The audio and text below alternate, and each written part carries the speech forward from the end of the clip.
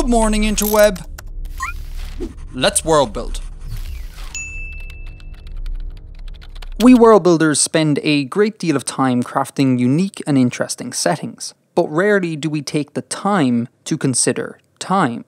Years, months, weeks, days, hours, minutes, seconds, we almost always ignore calendar building. And for good reason too, calendars are messy, leading many a world builder to champion the Earth but easier approach. Take Earth, get rid of the messiness, and make everything neatly divisible. We can do something a little more interesting here.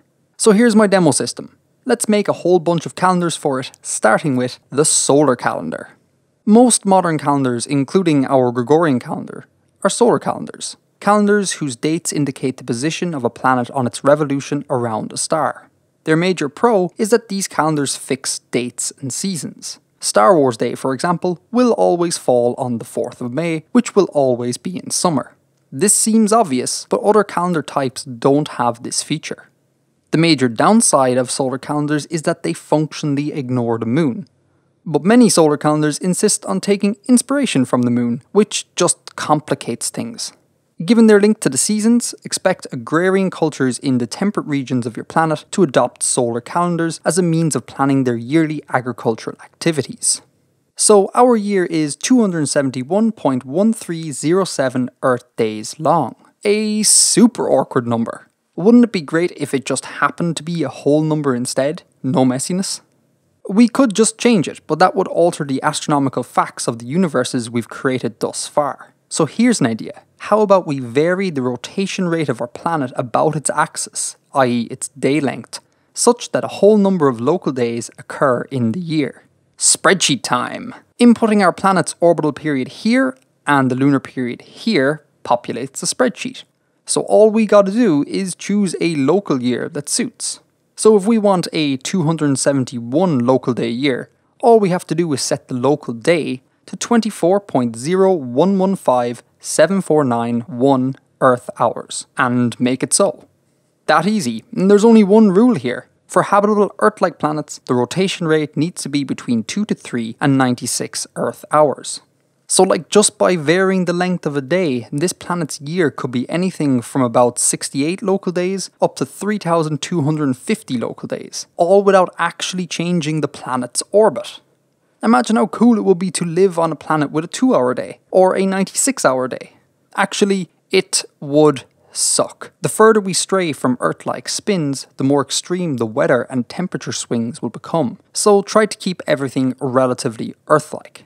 Anyways, real planets aren't this perfect, so let's reintroduce the concept of calendar drift, i.e., leap days, except in a manner that's under our control. Let's say we'd like a leap year every two years, every five years, every 10. Simply add this value onto here, and the local day will adjust to compensate. So now we can say with absolute certainty that our year will be 271 local days long, except once in every 10 when it'll be 272. And as such, its day needs to be 24.00271.782 Earth hours long.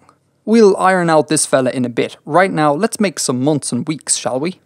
Locals on our planet will notice 8 to 9 lunar cycles per year so it would be easy to imagine their calendars being 8 or 9 months long. Remember, solar calendars don't track the moon, but they are often inspired by it. That is to say, over time, the month won't sync up with the lunar cycle. Kinda like what's happened to the Gregorian calendar with its vaguely lunar month like months that aren't actually months. That said, let's go with 8, shall we? So 271 divided by 8 is 33 plus change, Eight 33 day months amounts to 264 days, leaving us 7 days short of a full year.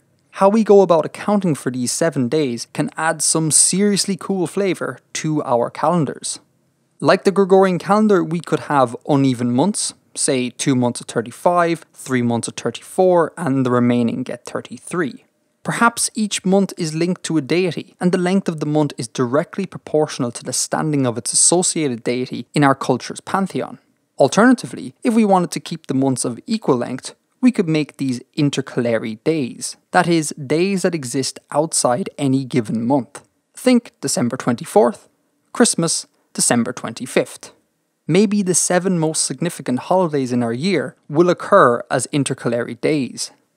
We can embed these days wherever suits, but maybe we could bunch them all into one special monthless seven day period, kind of like the ancient Mayans did, for example. If this special monthless period occurred in winter, perhaps it could be a period of mourning and ill omen, because, you know, winter and death and all that jazz. If it occurred in spring, it could be a seven day long festival of life and new beginnings. Where we place this period could tell us a lot about our culture's worldview. And every 10 years, we can just dump that leap day into this period without upsetting our lovely equal month structure. So, yeah, let's do that. As for weeks, again, we can look to the moon. A lunar month is roughly 32 days on our world. So, dividing by 4, we get a week length of 8 days, one week per moon phase. Ish. 33 8 day weeks gives us 264 again, so we'll need one 7 day week thrown in there to make up the difference. Which will leave us with something like this. Which works fine, but it's very Gregorian. And it always seemed weird to me that months could start in the middle of the week. So, how about instead of looking to the moon for inspiration, let's look to the medieval calendar? In Europe in the Middle Ages, the month was divided into three asymmetrical periods, defined by three important dates Calends, Nones, and Ides. Calends was the first day of the month, Ides fell in the midpoint of the month, and Nones fell on the ninth day before the Ides. And people would count the days backwards from these markers. The 10th day of November, for example, was referred to as the fourth day before the Ides of November, which is kinda cool, and a reminder that counting upwards isn't a universal law. So I'll do something like this and say that the 1st, 9th, and 21st are my important dates, from which all other dates will be counted. FYI, I'm using the golden ratio here to get these dates just because I can. And boom, calendar done. Well, kinda, we still gotta talk hours, minutes, and seconds.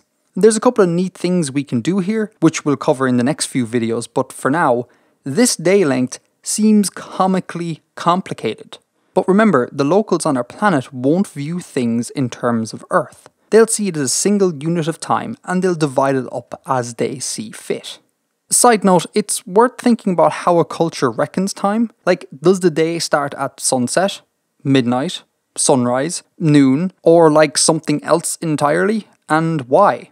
Anyways, pro tip whenever your day is super close to an Earth day, just have the locals split it up exactly as we do 24 hours, 60 minutes, 60 seconds.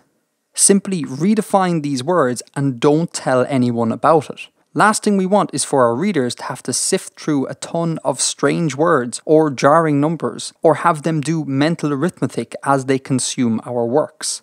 Hide the complications away in your calculations and keep things familiar and accessible. It won't be until you come to publish your version of the Silmarillion that the world will notice how badass your building chops actually are. So yeah, 271 local days in a year, 8 33 day months plus a 7 day special period, a leap year every 10 years, 3 asymmetrical weeks of 8, 12 and 13 days, 24 hours, 60 minutes, 60 seconds and one little secret. Shh.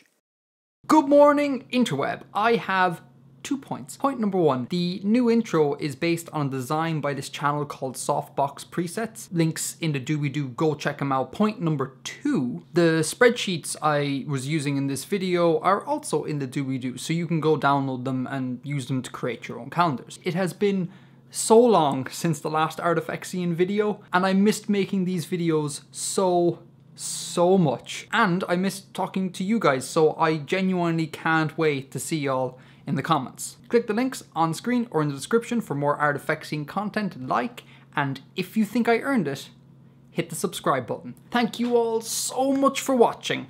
Edgar out.